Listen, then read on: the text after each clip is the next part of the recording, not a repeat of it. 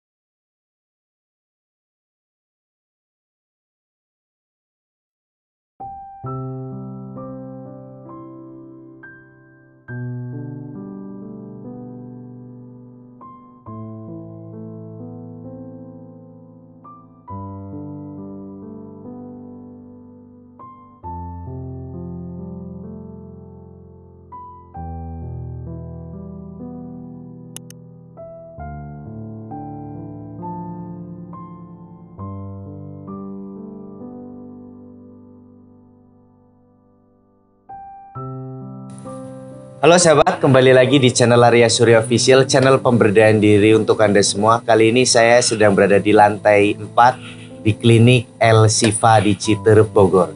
Kali ini saya sedang bersama Dr. Sifa akan membahas tentang COVID dan hubungannya dengan penderita gangguan psikis.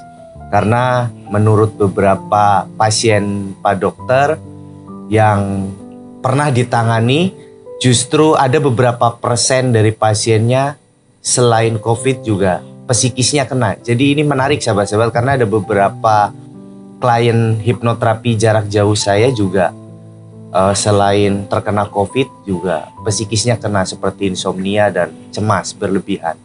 Oke mungkin langsung saja kita bincang-bincang dengan dokter Siva. Oke dok, jadi menurut dokter kira-kira ada berapa persen dari pasien dokter di era pandemi ini, apalagi sekarang kasusnya sedang naik tinggi lagi, uh, yang kira-kira psikisnya juga terganggu dok?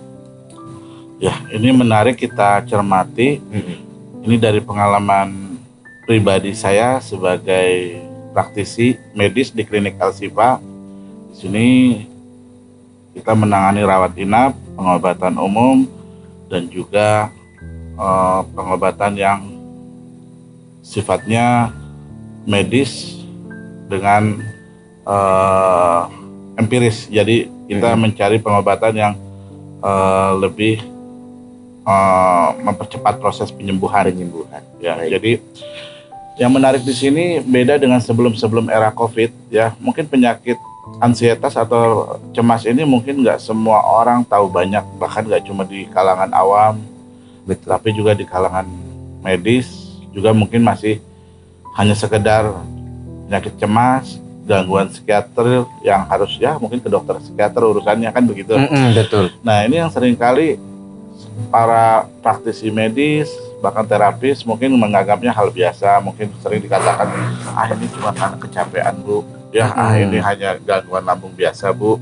Betul. bu jangan banyak pikiran padahal sebenarnya penanganannya harus lebih komprehensif supaya Betul. memberikan hasil yang terbaik untuk pasiennya agar mereka cepat recovery pemulihannya betul dok karena mereka yang menderita penyakit cemas ini gangguan psikosomatik yang sudah mengakar ini bahkan ada yang sampai 10-12 tahun mereka nggak ketemu pengobatan yang terbaik yang bisa memperbaiki penyakitnya hingga sembuh tuntas uh -uh. ya jadi kali mereka ini kebanyakan gonta-ganti dokter, gonta-ganti klinik. Mm -hmm, betul, karena bingung biasanya. Karena bingung. Akibatnya habis biaya besar, waktu terbuang percuma, ya. Betul. Dan ini menjadi suatu tantangan baru di klinik Alsifa. Hmm. Dan fenomena ini terasa sekali saat pandemi COVID di mana meningkat sekali jumlahnya dan ini ternyata penanganannya harus komprehensif dari sisi psikologis dan somatisnya. Betul. Pikirannya, mindsetnya, dan juga bagian tubuhnya yang kerusakan organik yang harus diperbaiki. Betul. Dan memang menarik saat sebelum COVID hanya sekedar lalu aja penyakit gangguan cemas ini. Hmm. Ah ini dianggapnya penyakit lebay sih penyakitnya begitu aja di ini dipikirin. Udah nggak usah dipikirin, gitu. nggak nggak usah terlalu over Iya betul. eh, apa istilahnya over analisis atau terlalu berpikir terlalu jauh mengatasi masalah yang sebenarnya khas sepele tapi bagi orang penderita cemas ini luar biasa berat Iya betul. ya dan mereka menganggap penyakit ini biarpun serangan cemasnya hanya hitungan beberapa menit 10-15 menit Mm-mm. Tapi bagi mereka lama sekali Iya. rasa takut berlebihan rasa takut yang mati yang tidak terkontrol tubuh kita terus rasa takut mati berlebihan rasa yang bikin cemas yang tidak jelas penyebabnya Mm-mm. ini bagi mereka lama sekali rasanya biarpun episode serangannya seperti itu bayangkan bagaimana mereka yang menderita sampai 10-12 tahun belum menemukan solusi penanganannya Betul. Nah, beberapa mereka yang sudah ketemu di tempat saya udah empat tahun, ada yang tiga tahun, ada yang dua tahun, bahkan mungkin dari Arya selama ini sharing juga pernah ada yang 10 sampai 12 tahun bahkan ya. Mm-mm. Dan ini Lama. penanganannya sampai ke sana kemari belum menemukan solusi yang eh, terbaik untuk mereka. Betul. Nah, seiring dengan peningkatan COVID, nah ternyata penelitian terbaru COVID-nya itu sendiri penderita-penderita yang sekarang sudah banyak penyintas COVID dalam artian mereka sudah Positif. ya. positif COVID dan melakukan isolasi mandiri kemudian mereka sembuh. Nah, dikatakan penyintas COVID ini dari penelitian jurnal besar kesehatan Lancet itu mengatakan kurang lebih satu dari lima penderita COVID itu menderita gangguan Psikis, mental, ya. psikis salah satunya. Dia bisa depresi, cemas, ya. Betul. Masalah ini ak- akibatnya apa? Menimbulkan gangguan mereka untuk kembali normal, berproduktivitas kembali. Betul. Mengganggu biasa. Iya, karena apa? Ini suasana yang baru sekali ya kita hadapi karena bagi mereka yang meng- mengalami gangguan eh, COVID, Mm-mm. gangguan cemas yang pemicunya dari COVID, ini bisa dilatar belakangi banyak faktor ya. Hmm, beberapa peneliti sekarang mengakui bahwa penyakit COVID tidak hanya menyerang gangguan organ pernapasan saja, tapi sudah mempengaruhi banyak organ. Salah satunya adalah organ otak. Mm. ya di mana terjadi gangguan fungsi otak. Di otak ini terjadi pembengkakan dugaannya seperti itu dan terjadi apalagi gangguan di otak terjadi plus juga gangguan suplai darah ke otak dari paru-paru berkurang makin memperberat lagi fungsi otak. Akibatnya yang terjadi apa timbul gangguan juga delirium gangguan pusing gak sakit kepala kebingungan dan ini semakin jelas bahwa ini banyak organ yang terlibat di sana. Mm. Ya, nah ini harus dicermati. Yang kita khawatirkan bagaimana mereka penyintas COVID untuk sadar, untuk tetap waspada, untuk tetap tahu jangan sampai mereka terkena lagi. Mm-mm. Yang kedua jangan sampai masuk ke tahapan gangguan mental tadi. Betul.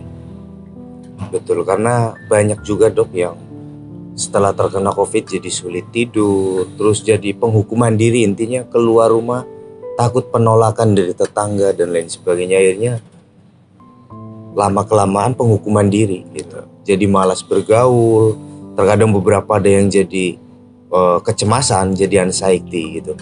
Nah, apakah virus yang tergolong baru ini dalam artian mungkin varian baru ya dok yang sekarang sudah menyabotase saluran darah kotak itu varian baru atau Ya.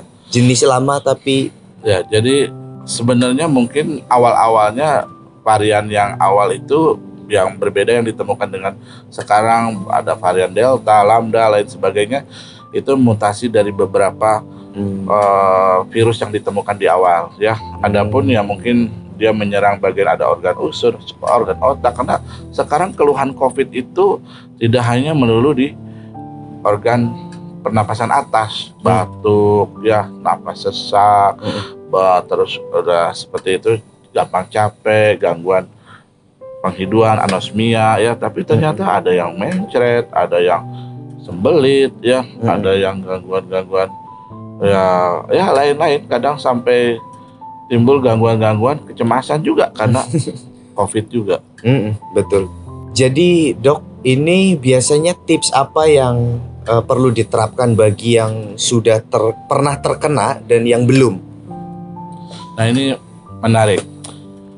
Kalau dibahas kaitannya kecemasan dengan COVID, ya, ini penyakit COVID ini agak berbeda dengan penyakit yang lain, di mana penyakit ini sudah menimbulkan tingkat stres yang tinggi dari sisi diagnostik. Mm-mm, Jadi dalam artian orang kalau udah kena diagnosa eh, COVID, mm-mm. stres, Iya betul dok. ya. Yang kedua dari sisi pengobatannya, orang stres juga menjalani pengobatannya, terutama mereka yang gejala sedang dan berat ya. Karena apa? Mereka belum jelas pengobatan tata laksana yang pastinya seperti apa. Hmm. Ya, yang terus keduanya mereka khawatir akan jatuh lebih parah lagi kondisinya. Hmm. COVID-nya ini. Jadi timbul stres lagi. Ya. Terus yang ketiganya dari sisi penyakit mereka sendiri yang diderita ini, apakah mereka bisa kembali normal beraktivitas atau nggak cuma itu? Ini akan berakhir kapan gitu loh. Iya penyakit betul. ini. Jadi stresnya sampai seperti itu. Iya betul betul. Ya ini sedikit banyak untuk mereka yang punya ketahanan mental yang kurang bagus akan timbul masalah. Jadi Betul. ada dua yang harus diperhatikan. Satu, bagaimana kita menyikapi memberikan reaksi. Ada dua orang yang dua sikap yang biasanya mereka menyikapi kondisi seperti saat ini Mm-mm. ada yang mereka terlalu reaktif, cepat, terburu-buru, ya, melakukan suatu tindakan yang cemas, ya, yang tanpa terukur, ya, akhirnya melakukan langkah-langkah yang sifatnya malah justru menimbulkan kecemasan, gangguan panik dan lain Mm-mm, sebagainya. betul betul dok. Ya, tapi ada juga mereka yang bersikap Santai aja. santai, terukur, rasional, ya, masih tetap waspada biarpun santai juga ya Mm-mm. tetap waspada, mencari informasi yang benar dari sumbernya, dan ini akan membantu mereka untuk tetap menjaga-jaga Mm-mm. ya mereka dan keluarga mereka dari penyakit. Kalaupun terkena, mereka tahu harus bagaimana yang terbaik mengatasinya. Mm. Ya, jadi eh, dengan cara kita bersikap yang baik, normal, menempati sesuatu sesuai porsinya ini membantu kita mengatasi penyakit sesuai dengan takarannya. Ya, jadi jangan sampai penanganannya istilahnya lebay Mm-mm, ya betul. atau over treatment dari sisi pengobatannya atau mungkin dari kitanya. Mm-mm. Ya, nah ini yang harus diperhatiin. Baik. Jadi intinya ketika ada beberapa yang mungkin setelah di hasilnya positif eh, terkena corona itu lebih baik reaksinya jangan terlalu terburu-buru ya dok ya. Karena kalau terburu-buru dapat menimbulkan kecemasan juga, kekhawatiran yang akhirnya nanti malah saat perawatan malah jadi terburu-buru dan membuat dia malah semakin stres. Akhirnya imunnya juga kalau orang stres kan imunnya menurun dok Betul. gitu jadi mungkin yang seharusnya badannya tidak ikut cepat capek atau tidak lemas dan lain sebagainya karena ada stresnya jadi terasa lemas terasa lesu terasa apalagi yang paling terasa itu sulit tidur dok Ya. itu banyak sekali orang yang biasanya setelah terkena covid dia tahu bahwa dia positif. Itu beberapa hari setelah dapat hasilnya itu langsung jadi sulit tidur. Nah biasanya awal-awal dia masih bingung Kenapa sulit tidur apakah cemas? Tidak juga mas Arya nggak tahu ini nggak tahu kenapa nggak bisa tidur. Nah itu biasanya awal-awal seperti itu. Karena masih belum tahu ini kenapa sulit tidur Padahal sebetulnya dia sudah mengalami cemas Tapi belum disadari kalau dia itu cemas gitu. Ya. Nah biasanya kalau dibiarkan juga lama-lama lama-lama jadi bermanifestasi jadi oh bisa jadi lari ke asam lambung dan lain sebagainya.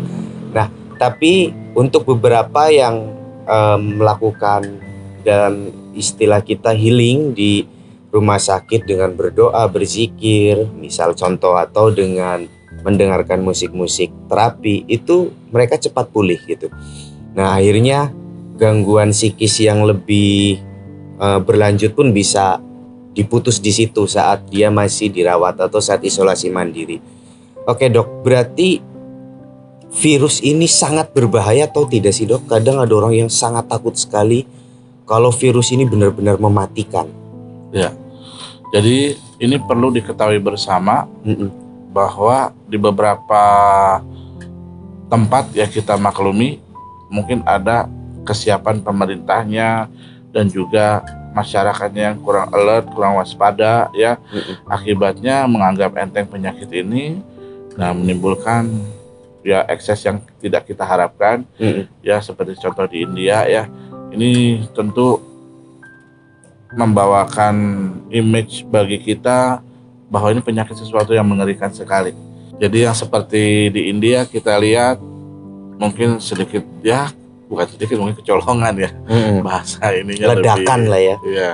Lonjakan. Ya alhamdulillah pemerintah kita mengambil pelajaran dari situ ya dan juga langkah-langkah yang ditempuh dari pemerintah dan juga mulai kesadaran masyarakat juga udah mulai tinggi mm -hmm. ya untuk memakai masker ya menjaga protokol kesehatan di tempat-tempat umum ya namun tidak berhenti sampai di situ Betul. ini tetap harus berjalan ya sekarang bagaimana kita ya kalau menurut saya mungkin ke depannya seperti halnya kayak penyakit TBC atau malaria mungkin kita bisa saja berdampingan hidup dengan mereka ya tidak hanya adaptasi kebiasaan baru tapi bagaimana kita berdampingan dengan penyakit ini tapi kita bisa mengobati dengan tuntas gitu loh. Hmm, baik. Nah, karena penyebarannya sudah begitu masif ya khawatirnya er eradikasi sampai nol tuh mungkin susah.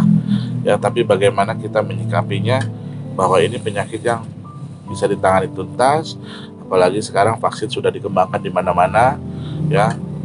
Ya harapannya ya kalaupun memang kita cemasnya ini nggak bakal tuntas nggak bakal tuntas kalau itu membuat sesuatu kita makin cemas makin cemas yang tidak membawa efek yang baik buat kita mm-hmm. ya mau bagaimanapun ya kita tinggal jalani hidup ini pasrahkan dengan yang di atas mm-hmm. berdampingan dengan penyakit ini toh hidup kita juga tetap harus berjalan Betul. life must go on kan Betul. ya kita tetap harus berproduktivitas ya dan bagaimana caranya para praktisi kesehatan medis di seluruh dunia dan juga ahli-ahli kesehatan lainnya menjaga masyarakat tetap bisa dipagari supaya tidak fatal penyakit ini. Hmm, betul. Itu yang penting. Biasanya kalau dokter Siva misal dapat pasien yang COVID itu melak, e, dilakukan tindakan seperti apa dok? Ya.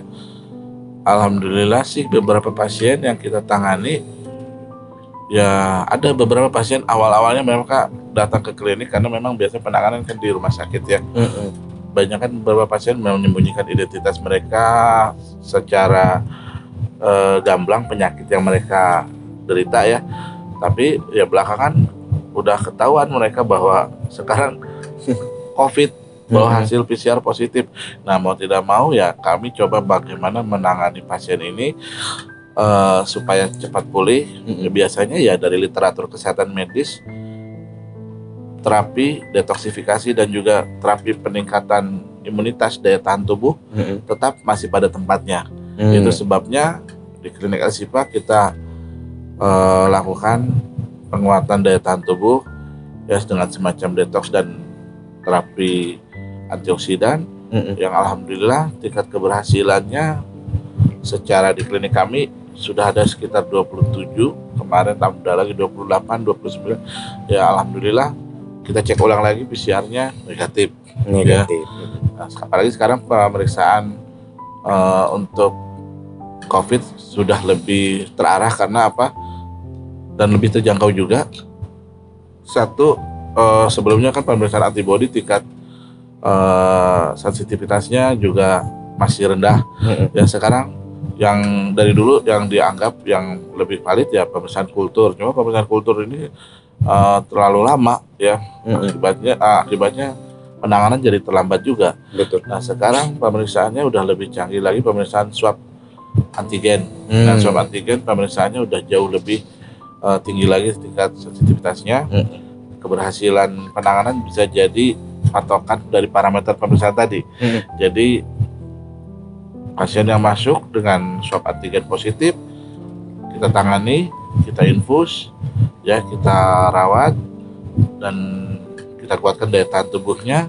Besok pulang, setelah itu kontrol tiga hari, tiga hari berikutnya kita evaluasi dan setelah itu cek ulang lagi di tiga hari yang ketiganya. Biasanya negatif setelah swab uh, antigen tadi positif, cek ulang lagi swab antigen berikutnya di uh, tiga hari yang ketiganya. Berarti kurang lebih 9 hari lah Sembilan ya. hari. 9 hari. Nah kita akan coba gimana mempercepat lagi penanganannya.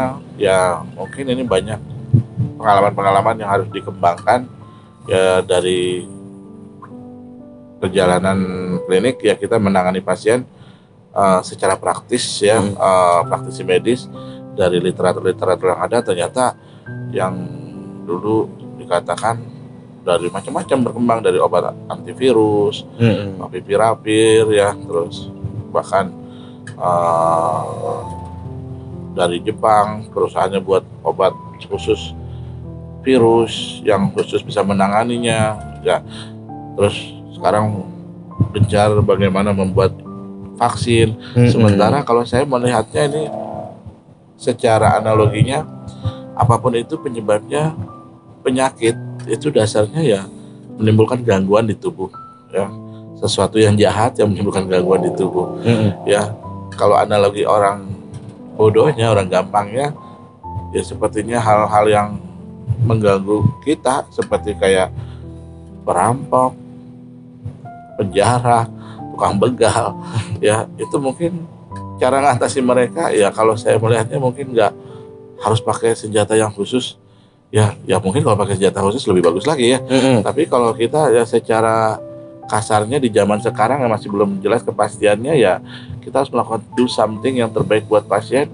Kasarnya mengatasi mereka ya ketemu batu di jalan, ketemu balok pun kita hadapi mereka-mereka yang mengganggu kita kan gitu termasuk penyakit. Betul. Ya jadi penyakit yang menyerang kita yang dulu ternyata sibuk mencari antivirusnya ternyata golongan-golongan seperti eh, kortison, kortikosteroid ya Hmm. itu dexamethasone ternyata dipakai ya. Hmm. dulu sibuk em, menggunakan obat anti malaria. Pada pakai semua obat anti malaria. Tapi di kita nggak pakai obat anti malaria. Kita gunakan eh, antioksidan dan kombinasi lainnya ternyata juga sembuh. Dan alhamdulillah belum ada satu pun pasien yang fatalitas dalam artiannya sampai jadi kematian ya karena COVID. Jadi dasarnya bagaimana pasien ketika terdiagnosa penyakit secepatnya kita kuatkan daya tahan tubuhnya jangan sampai ketemu dengan penyakit komorbid yang ada di mereka. Hmm. Harapannya supaya bawa penyakit bawaan ya. Iya penyakit bawaannya harapannya supaya penyakit yang seperti contohnya diabetes, mungkin darah tinggi atau penyakit asma atau yang lainnya penyakit bawaannya itu yang akan mempersulit penyembuhan ketika kondisi COVID sudah semakin parah. Hmm. Jadi gimana kita membuat penyakit ini eh, secepatnya pulih, jangan turun ke grade yang tingkat moderat atau severe, Hmm. ya tingkat sedang atau yang berat. Ini bakal ketemu dengan penyakit-penyakit yang diderita pasien itu. Ya mungkin pasien itu nggak sadar kalau dia punya penyakit gula, atau pas saat kena penyakit COVID ternyata ada penyakit gula. Nah ini fatal, ketemu dengan penyakitnya masuklah ke ICU. Nah di. ICU ini ya tingkat kesembuhannya mungkin makin lebih kecil lagi. Hmm. Nah, jadi bagaimana kalau saya sendiri secara pribadi, pandangan saya, saya menyikapinya melihat penyakitnya ini seperti mereka yang menderita penyakit demam berdarah, dengue, atau tipes. Ya, kalau mereka terkena penyakit infeksi, memang eh, yang bakteri atau demam dengue ini, kalau saya lihat fatalitasnya juga tinggi juga, ya. Tapi- Iya ya. Tinggi, tinggi sekali. Tapi memang masih fokus di COVID dok. Iya. Jadi bagaimana kita supaya mereka yang kena demam berdarah ini jangan sampai trombosit makin turun makin turun makin turun. Ya kalau dia kena penyakitnya udah ada komorbidnya diabetes sama juga bakal berat. Hmm. Nah, makanya di kita menangani tipes demam berdarah bagaimana secepatnya kita perbaiki trombositnya cepat baik sepulih-pulihnya dengan parameter trombosit yang naik dan kondisi klinisnya yang makin baik. Nah ini pun juga sama. Untuk tipes juga begitu. Jangan sampai dia kondisi drop ketemu dengan kondisi penyakit yang lain. Nah ini juga sama. COVID kita harapkan jangan sampai ketika sudah terdiagnosa COVID mereka tidak do something. Hanya ya di rumah aja makan vitamin. Ya kalau kita melihatnya sebagai sesuatu yang covid ini sesuatu yang baru yang penyakit yang kita masih belum jelas maka kita lakukan sesuatu pencegahan preventifnya yang lebih lebih cepat. Lakukan imun booster yang salah satunya dengan terapi infus. Hmm. nah dengan ini pemulihan akan cepat. Gitu. Tentu akan beda sekali dengan pemberian dengan oral. Hmm. ya makan obat aja. Betul. Nah itu daya tahan tubuh dia akan melonjak dan tubuh mempunyai kemampuan untuk memperbaiki diri sendiri, ya untuk menyembuhkan diri sendiri asal dipenuhi kebutuhannya. Ya Hmm.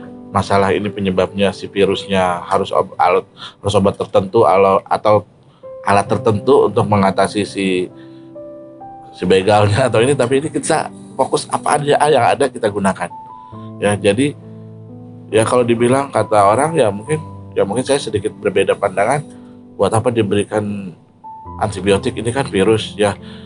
Ya kalau saya oke lah ini virus. Tapi saya berikan antibiotik. Kan bisa saja dia ada penyakit penyerta infeksi juga bareng dengan penyakit virus itu berbarengan. Hmm. kita kan nggak bisa menyingkirkan itu meskipun dia terkena penyakit virus COVID-nya. Hmm. ya kadang ada beberapa pneumonia ada infeksi yang lain. Toh saya berikan ini setidaknya menjaga supaya yang ini juga pasien ini tidak diganggu oleh eh, pencetus dari bakteri Hmm. yang mengganggu kondisi dia yang sedang terkena, terkena COVID. Hmm. ya sambil kita kuatkan lagi daya tahan tubuhnya. Hmm. ya alhamdulillah berhasil gitu. Jadi tadi kalau dibilang ini kan virus dulu dibilang penyakit swastir nah ya dia tubuh akan memperbaiki sendiri ya. Jangan diberikan steroid. Ya kalau saya melihat steroid untuk melawan reaksi radangnya ya saya melihat dari sisi radangnya ini perlu ditangani gangguan-gangguan radang seperti nafas yang sesak, rasa tidak nyamannya. Nah, itu akan merilis, memberikan rasa nyaman di pasien.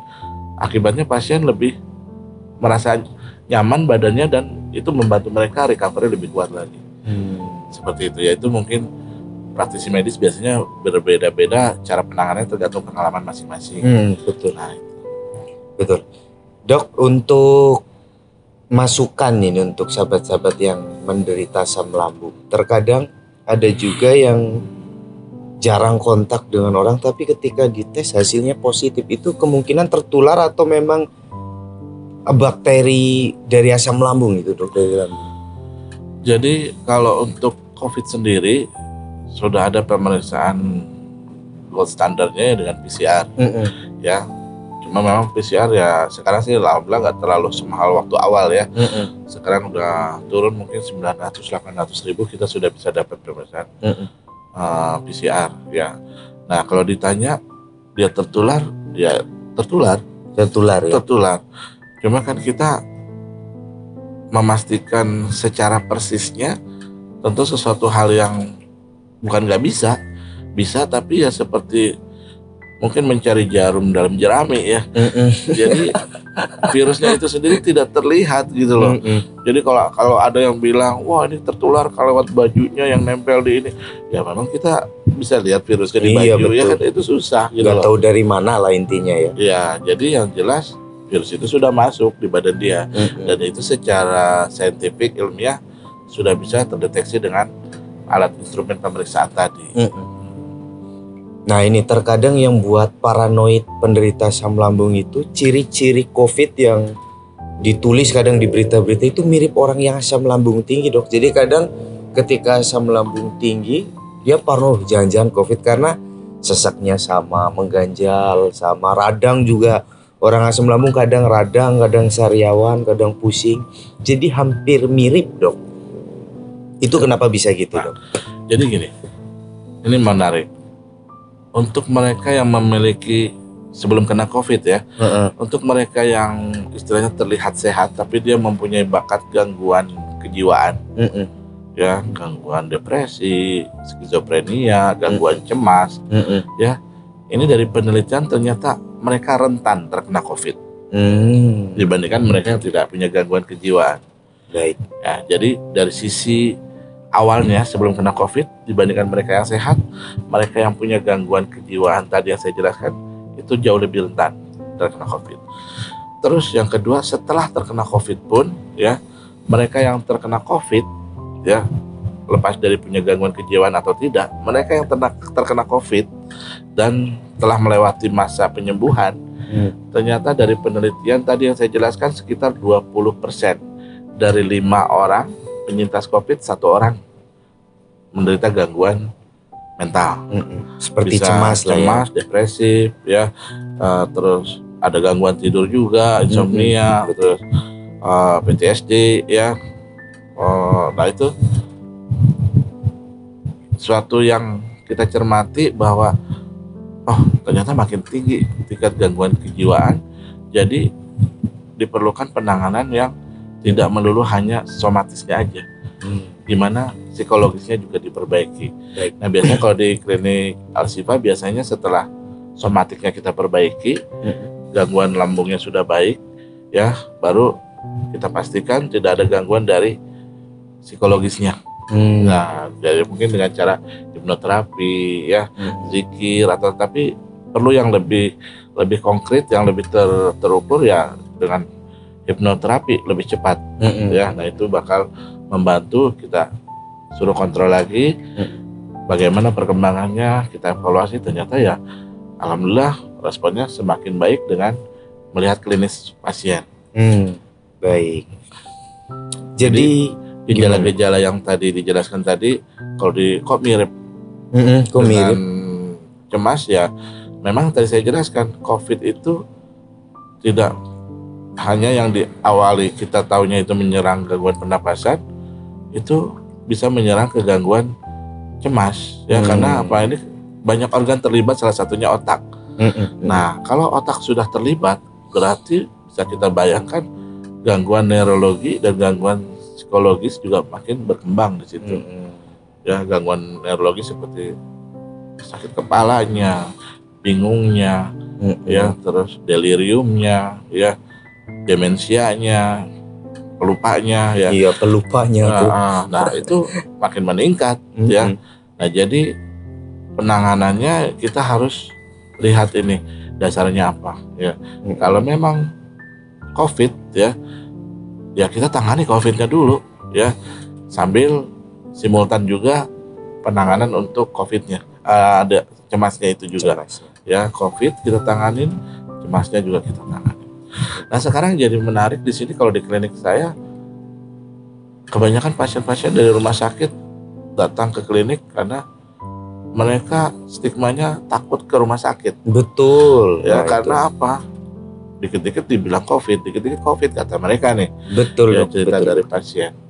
Nah akibatnya mereka cari alternatif-alternatif gitu. Hmm. Ya bahkan nyari ke klinik-klinik ya di klinik kami ya kebetulan sebenarnya punya keterbatasan ya. Tapi kita karena tanggung jawab eh, kemanusiaan kita coba tanganin apa yang kita bisa lakukan ya.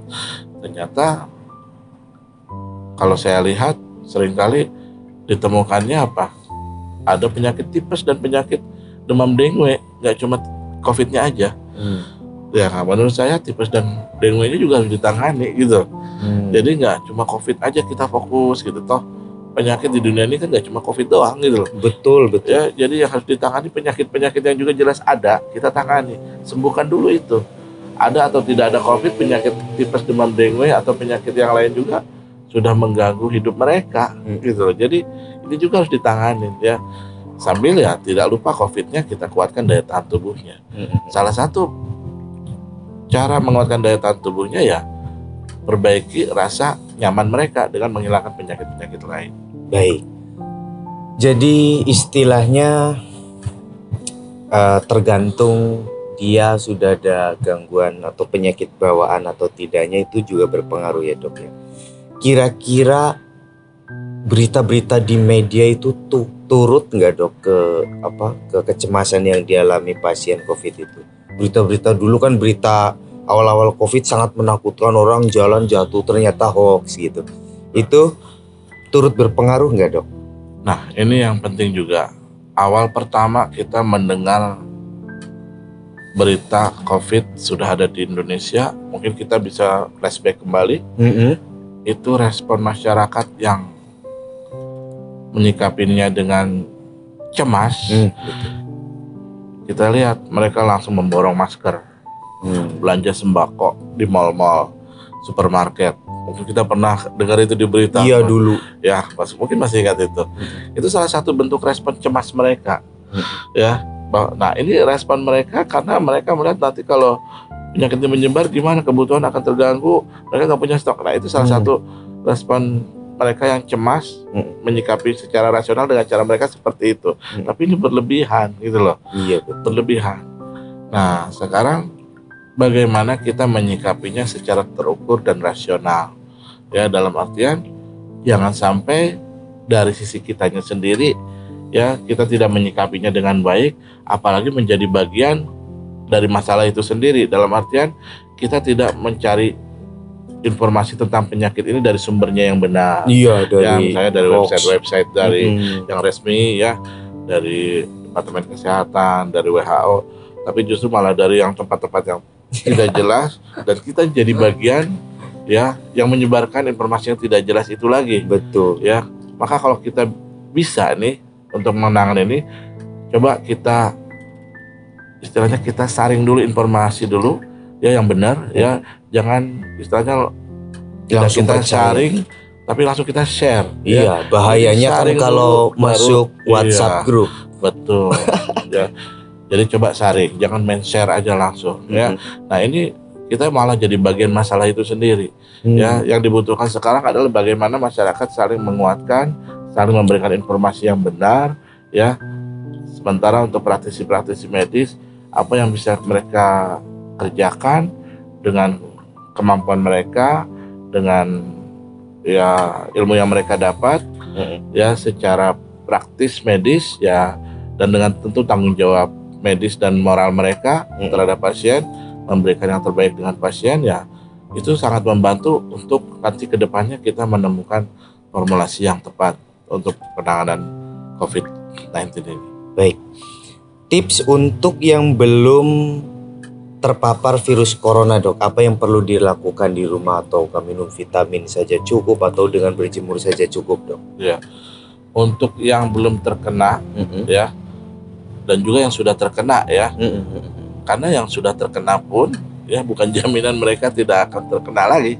Oh iya. Ya, jadi ini sama aja. Sekalipun sudah vaksin ya dok. Sekalipun sudah vaksin, hmm. ya. Nah ini nih. Nah jadi tipsnya tetap apa yang dihimbau oleh pemerintah ya terhadap masyarakat, jaga protokol kesehatan, -hmm. ya. Itu kerjakan dengan benar, mencuci tangan, pakai masker, menjauhi kerumunan, ya kan, yang menghindari perpergian yang tidak perlu, ya, menjaga jarak.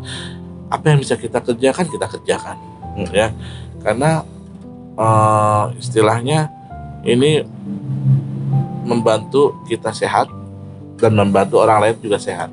Karena apa? Dengan menjaga kita sehat, kita menjaga orang lain juga ikut sehat. Hal terkecil aja dari kita, kalau kita sehat, insya Allah keluarga kita juga sehat. Betul. Ya. Tapi Dimulai kalau, dari diri kita ya, betul, ya dok. Kitanya tidak aware, kita bawa ke keluarga, ya kan? Hmm. Seperti. Tapi kalau di klinik kami sendiri, eh, menyikapi COVID ya istilahnya kita jangan menantang COVID tapi kita juga jangan takut dengan COVID hmm. dalam artian berdamai lah ya berdamai dengan COVID ya berdampingan dengan COVID ya anggap dia sebagai sesuatu yang baru di alam universal kita ini seperti penyakit-penyakit yang baru yang dulu mungkin belum pernah ada betul. sekarang ada ya. Ya kita mulai adaptasi dengan penyakit ini tapi dengan uh, proporsi yang jelas. Jangan berlebihan lagi ke depannya. Mungkin oke okay, kita udah tahu nih penyakit ini uh, menyerang ini ini nih organ-organ tertentu. Dan sekarang penanganannya mungkin nanti para ahli sedang merumuskan yang terbaik bagaimana mm -hmm. ya yang bisa digunakan oleh praktisi medis nah di situ ke depannya ya mungkin bakal seperti TBC seperti Iya betul. malaria, Seperti flu gitu ya. Iya. Karena flu juga dalam sejarahnya waktu pertama muncul dulu orang banyak yang meninggal juga ya Iya. dok ya. Lama-lama kita flu hanya minum obat warung Iya. saja kadang sembuh. Iya. Baik.